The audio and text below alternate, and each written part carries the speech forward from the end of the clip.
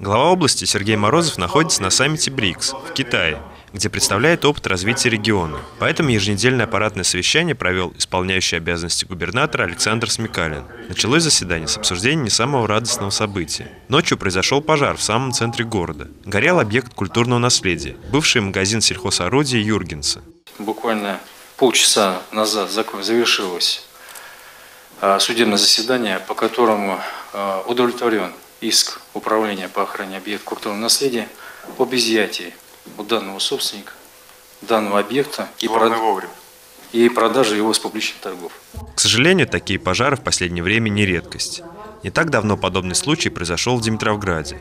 Очень жестко спрошу с каждого, кто отвечал за то, чтобы смотрел, наблюдался за исполнением условий содержания данного объекта, Шарпудин Хаутиев проинформировал собравшихся, что в области будет проводиться полная инвентаризация всех имеющихся объектов культурного наследия. В ходе этой работы выяснит, как содержится здание, как к ним относятся собственники и нет ли угроз для региональных ценностей. Далее перешли к обсуждению повестки. Начался новый учебный год, и День знаний прошел в области без происшествий. Однако, к сожалению, вот буквально вчера вечером у нас в ДТП Погибла девочка, первоклассница из 83-й школы, возвращалась с родителями а, в город.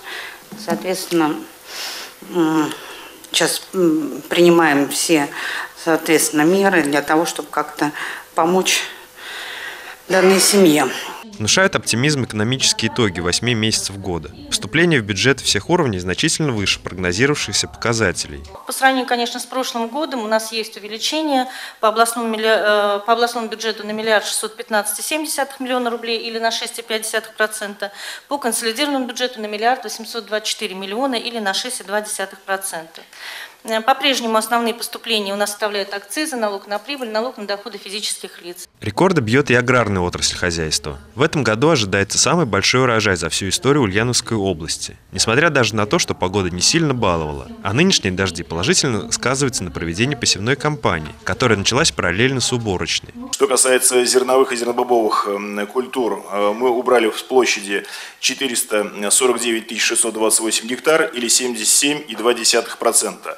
Валовый сбор на сегодняшний день у нас составил 1 миллион 368 тысяч 521 тонна при урожайности 30,4 центнера с гектара. Урожайность 30 центнеров с гектара считается очень хорошей для Ульяновской области. В этом же году мы видим превышение данного показателя. Больше чем наполовину от необходимого объема зерна сдали аграрии в резервный региональный фонд цены достаточно высокие по сравнению с рынком, это уже очень неплохая поддержка для наших сельхозтоваропроизводителей.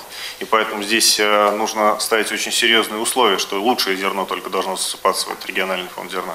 К 21 сентября, согласно распоряжению правительства, все ресурсоснабжающие и управляющие компании должны быть полностью готовы к подаче тепла и поставить сети на циркуляцию. Объему подготовки. На 1 сентября должна быть обеспечена стопроцентная техническая готовность. Сегодня мы уже не в процентах считаем, называем а, буквально 4-5 проблемных а, значит, э, точек по муниципальным образованиям. Сложной остается проблема по долгам муниципалитетов перед поставщиками энергоресурсов. Сумма исчисляется почти в миллиард рублей. И давайте регион опять на себя возьмет ваши долги. Вы этого хотите, что ли? Мы сейчас сидим с коллегами, верстаем бюджет на следующий год. Думаем, какому муниципалитету, где помочь школы отремонтировать, где детские садики, где дороги подлатать, где все. Что не вопрос, все муниципальные вопросы. Кстати, о дорогах. Их ремонт в области в этом году подходит к логическому завершению. Выполнение ремонта на площади миллион двадцать одна тысяча закончит 92% от плана. А, только за прошлую неделю 20 тысяч было отремонтировано. В 16 муниципальных образованиях сейчас эти работы ведутся. Окончательно же завершить ремонт дорог планируют не позднее 20 октября. Егор Титов, Юрий Конехин, Новости дня, Ульяновская правда.